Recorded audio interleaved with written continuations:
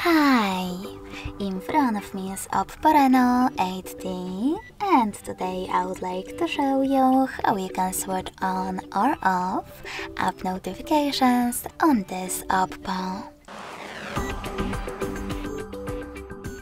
First of all, go into settings and scroll down just a bit to access notifications and status bar. After that, scroll down, tap on recent next to app notifications and select the best option for you, in my case frequency.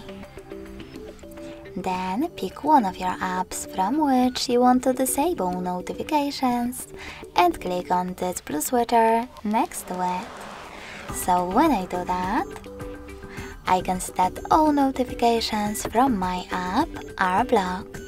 If you wish to enable them, just click on the same No Gray switcher. You can always just click on one of your apps over here and manage all notifications thanks to this switcher next to allow notifications. Thanks so much for watching. If you enjoyed this video, smash that like button, comment and subscribe. Bye.